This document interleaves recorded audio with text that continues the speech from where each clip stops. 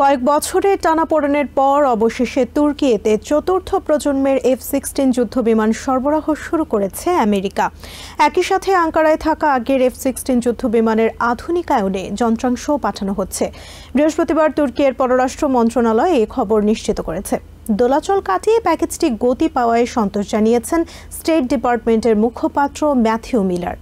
আঙ্কারায় আমেরিকার রাষ্ট্রদূত জেফ ফ্লেক বলেছেন, এর ফলে তুর্কির জাতীয় নিরাপত্তার পাশাপাশি আমেরিকা ও নেইটোর নিরাপত্তা আরও সুসংহত হয়েছে।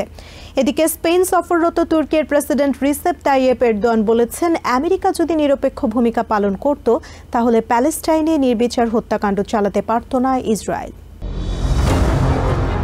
বিশ্বজুড়ে তথাকথিত সন্ত্রাস বিরোধী যুদ্ধের দামামা বাজিয়ে আন্তর্জাতিক অঙ্গনে আমেরিকার বিতর্কিত চরিত্র আরও কলঙ্কিত হয়েছে। তারপরও এই ধরনের যুদ্ধ নিয়ে ওয়াশিংটনের দুর্বলতা কাটেনি। তাই তো সিরিয়ার উত্তরাঞ্চল এবং ইরাকে কাউন্টার টেরর অপারেশন জোরদার করায় তুর্কিকে পুরস্কৃত করেছে White House. 40 new F 16 Block 70 aircraft. কয়েক বছরের টানা পড়নের পর অবশেষে দেশটিতে চতুর্থ প্রজন্মের এফ সিক্সটিন যুদ্ধ বিমান সরবরাহ শুরু করেছে আমেরিকা। একই সাথে আঙ্কারায় থাকা আগের এফ সিক্সটিন যুদ্ধ বিমানের আধুনিকায়নে যন্ত্রাংশ পাঠাচ্ছে। বৃহস্পতিবার তুর্কির পররাষ্ট্র মন্ত্রণালয় থেকে এসব খবর নিশ্চিত করা হয়েছে। There is no longer a Congress sized problem regarding F 16s. দু সালের অক্টোবরে আঙ্কারার সাথে তেইশ বিলিয়ন ডলারের চুক্তি হয় ওয়াশিংটনের যাতে চতুর্থ প্রজন্মের চল্লিশটি এফ সিক্সটিন ব্লক সেভেন্টিস যুদ্ধ বিমান এর সাথে তুর্কিতে থাকা আগের এফ সিক্সটিন যুদ্ধ বিমানের আধুনিকায়নের যন্ত্রাংশ পাঠানোর কথা ছিল কিন্তু কংগ্রেসের বাধায় তা সম্ভব হয়নি। সুইডেনকে নেইটোতে অন্তর্ভুক্তিতে সমর্থন দেবে তুর্কি এমন শর্তে কংগ্রেস চলতি বছরের শুরুতে আপত্তি তুলে নেয়। এফ সিক্সটিন ব্লক সেভেন্টিসকে চতুর্থ প্রজন্মের সবচেয়ে উন্নত সংস্করণের যুদ্ধ বিমান হিসেবে বিবেচনা করা হয়। পঞ্চম প্রজন্মের এফ থার্টি ফাইভের রেইডার প্রযুক্তি এই সংস্করণে যুক্ত করা হয়েছে। The most advanced fourth generation fighter aircraft. State Department মুখপাত্র ম্যাথিউ মিলার দোলাচল কাটিয়ে প্যাকেজটি গতি পাওয়ায় সন্তোষ প্রকাশ করেছেন। দেশটিতে আমেরিকার রাষ্ট্রদূত জেফ ফ্লেক বলেছেন এর ফলে টার্কির জাতীয় নিরাপত্তার পাশাপাশি আমেরিকা ও নেটোর নিরাপত্তা আরও সুসংহত হয়েছে.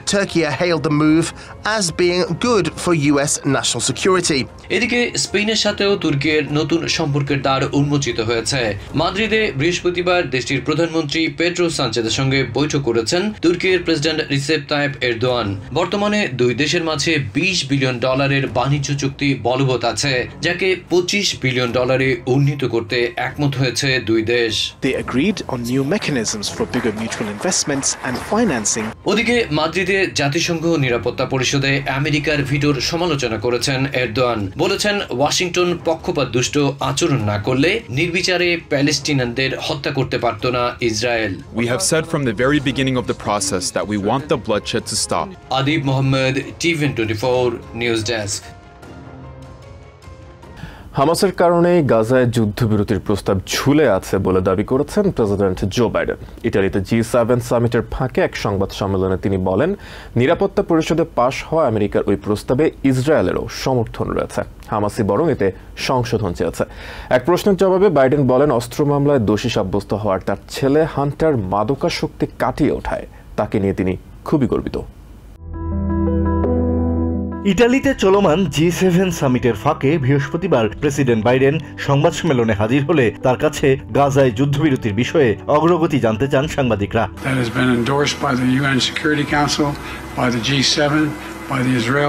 বাইডেন বলেন হামাসি যুদ্ধবিরতির পথে প্রতিবন্ধকতা সৃষ্টি করেছে। Hamas refusing sign on something president জানান একটি ইতিবাচক ফলাফলে না আসা পর্যন্ত প্রচেষ্টা অব্যাহত রাখবেন তারা.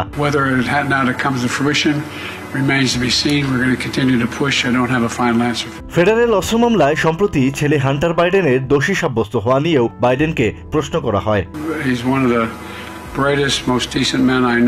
প্রেসিডেন্ট আবারও জানান আদালত হান্টারের বিরুদ্ধে যে সাজাই দেবে তা তিনি মেনে নেবেন এবং ছেলেকে ক্ষমা ঘোষণা করবেন না। Do anything I, sa- I said, I abide by the jury decision, and I will do that, and I will not pardon him. অন্যদিকে জি সেভেন সামিটে ইউরোপ ও মধ্যপ্রাচ্যের দুটি বড় যুদ্ধ বৈশ্বিক নানা সংকট সমস্যা নিয়ে গুরু গম্ভীর আলোচনার মাঝে খানিক বিনোদন খুঁজছেন জোটের নেতারা।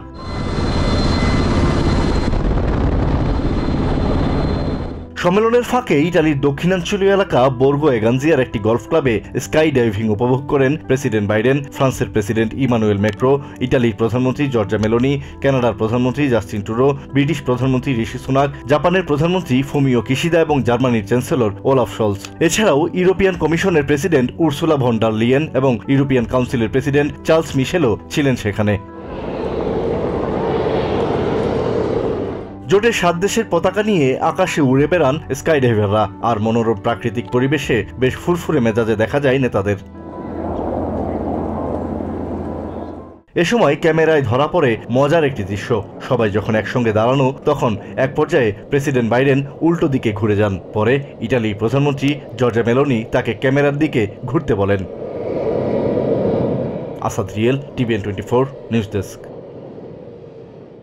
রাশিয়ার আগ্রাসনের ক্ষতি পুষিয়ে নিতে ইউক্রেনকে পঞ্চাশ বিলিয়ন ডলার ঋণ দেওয়ার সিদ্ধান্ত নিয়েছেন জি সেভেন জোটের নেতারা। রাশিয়ার জব্দ করা সম্পদের সুদ থেকে এই ঋণ দেওয়া হবে। বৃহস্পতিবার ইটালিতে আয়োজিত জি সেভেন সম্মেলনে একথা জানান প্রেসিডেন্ট জো বাইডেন। এছাড়া এদিন ইউক্রেনের সাথে দশ বছর মেয়াদী একটি দ্বিপাক্ষিক নিরাপত্তা চুক্তিতেও সই করেছেন প্রেসিডেন্ট। তিনি জানান, এই চুক্তির আওতায় ইউক্রেনের সামরিক বাহিনীকে প্রশিক্ষণ ছাড়াও গোয়েন্দা তথ্য দিয়ে সহায়তা করবে America.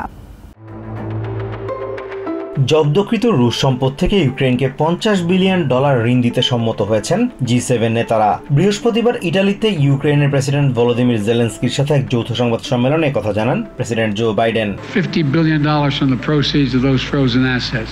put that money to work for Ukraine. তিনি বলেন চলতি সপ্তাহেই জি সেভেন নেতারা ঋণ দেওয়ার এই প্রক্রিয়ার চূড়ান্ত পরিকল্পনার বিষয়ে একমত হয়েছেন This week, the G7 signed a plan to finalize দু সালে রাশিয়া ইউক্রেনে হামলা করার পরপরই রাশিয়ার বাইরের বিভিন্ন ব্যাংকে রাখা দেশটির সেন্ট্রাল ব্যাংকের দুশো আশি বিলিয়ন ডলার আটকে দেওয়া হয় এই সম্পদ মস্কো কোনোভাবেই ব্যবহার করতে না পারলেও এখন এর মালিক তারাই Members of the G7 and the European Union worked together to freeze $280 billion.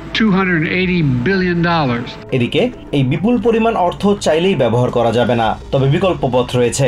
এই অর্থের সুদ চাইলেই ব্যবহার করা যাবে যে কোনো খাতে, আর সে সুযোগটি নিতে যাচ্ছে জি সেভেন এরই মধ্যে সুদের এই অর্থ আলাদা করে রাখার কাজটি করে দিয়েছে ইউরোপিয়ান ইউনিয়ন।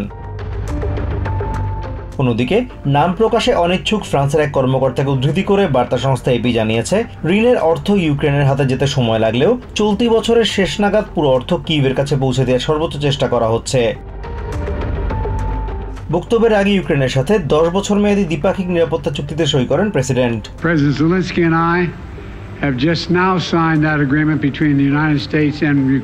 চুক্তির আওতায় আগামী দশ বছর ইউক্রেনিয়ান সামরিক বাহিনীকে প্রশিক্ষণ দেওয়ার পাশাপাশি তাদের অস্ত্র ও গোলাবারুদ এবং গোয়েন্দা তথ্য দিয়ে সহায়তা করবে America.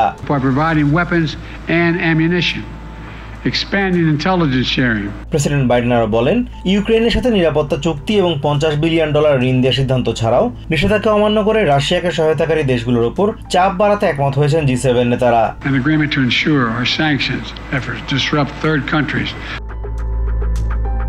Azimur Rashid Kono TVN twenty four news desk. ইউক্রেনের আকাশসীমা রক্ষায় আমেরিকা প্রযুক্তি সহায়তার নতুন কোনো প্রতিশ্রুতি না দিলেও মিত্রদের এই লক্ষ্যে এগিয়ে আসার আহ্বান জানিয়েছেন ডিফেন্স সেক্রেটারি লয়েড অস্টিন। বৃহস্পতিবার নেটোর সদর দফতর ব্রাসেলসে এক সংবাদ সম্মেলনে তিনি বলেন এই যুদ্ধে এখন পর্যন্ত তিনশো পঞ্চাশ হাজারের বেশি রাশিয়ার সেনা হতাহত হয়েছে। এ সময় joint chiefs of স্টাফসের chairman general C Q Brown junior বলেন উত্তর পূর্ব ইউক্রেনের খার্কিভ অঞ্চলে রাশিয়ার সাফল্য পাওয়ার সম্ভাবনা খুব কমে আসছে। রাশিয়ার বিরুদ্ধে চলমান যুদ্ধে ইউক্রেনকে সহায়তা দিতে মিত্র পঞ্চাশ দেশের প্রতিনিধিরা মিলিত হন ব্রাসেলসে। ইউক্রেন ডিফেন্স কন্ট্যাক্ট গ্রুপের তেইশতম এই বৈঠক অনুষ্ঠিত হয় নেটোর সদর দপ্তরে। বৈঠকে যোগ দিয়ে ডিফেন্স সেক্রেটারি লয়েড অস্টিন জানান দুহাজার বাইশ সালের ফেব্রুয়ারি মাস থেকে চলমান এই যুদ্ধে এখন পর্যন্ত রাশিয়ার তিনশো হাজার সেনা হতাহত হয়েছেন। এছাড়া রাশিয়ার দুই হাজার ছয়শো যুদ্ধযান ধ্বংস করা সম্ভব হয়েছে বলেও তিনি দাবি করেন। At least 350,000 Russian troops have been killed or wounded. পরে সাইডলাইনে সংবাদ সম্মেলনে যোগ দেন defence secretary Austin O joint chief of staff chairman general C Q Brown junior সংবাদ সম্মেলনে অস্টিনের কাছে প্রশ্ন ছিল, জার্মানি ও ইটালি ইউক্রেনের আকাশসীমা সুরক্ষায় বাড়তি প্রযুক্তি সরবরাহের আশ্বাস দিয়েছে। আমেরিকা বাড়তি কোনো সহযোগিতার আশ্বাস দিচ্ছে কিনা? বিভিন্ন দেশের সহযোগিতায় ইউক্রেনের আকাশসীমা সুরক্ষা করা হবে বলে আশ্বস্ত করেন অস্টিন।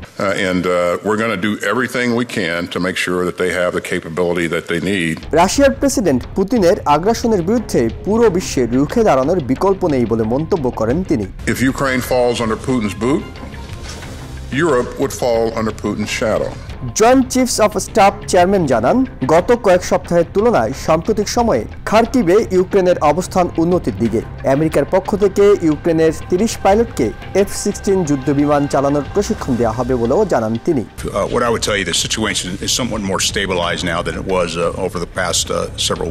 বৈঠকে এই গ্রুপে নতুন যোগ দেওয়া সদস্য দেশ আর্জেন্টিনাকে স্বাগত জানানো হয়। শুক্রবার নেটোভুক্ত দেশগুলোর ডিফেন্স সেক্রেটারিদের একটি বৈঠকে লয়েড অস্টিনের যোগ দেওয়ার কথা রয়েছে।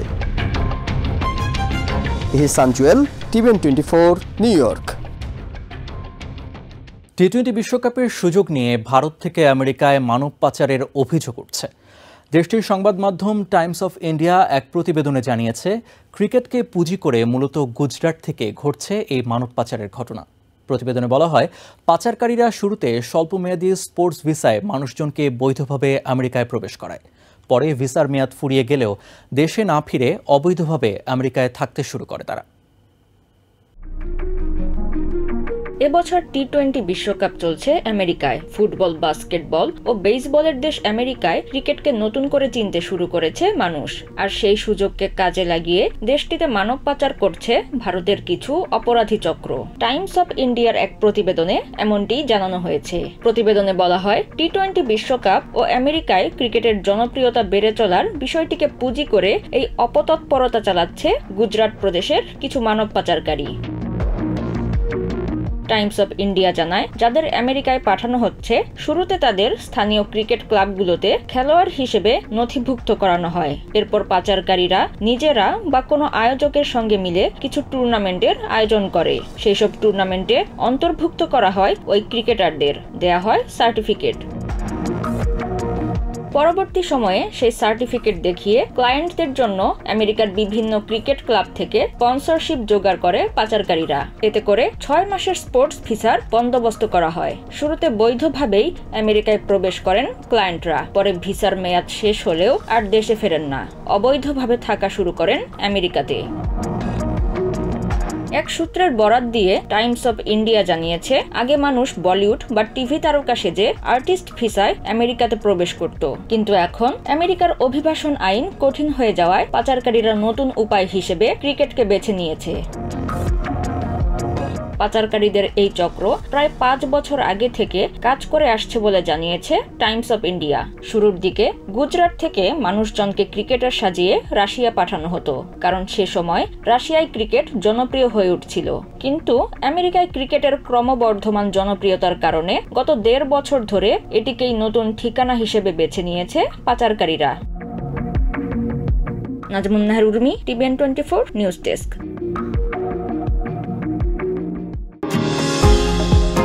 New York থেকে সম্প্রচারিত টিভিএন টোয়েন্টি ফোর টেলিভিশন বিশ্বজুড়ে বাঙালির কণ্ঠস্বর।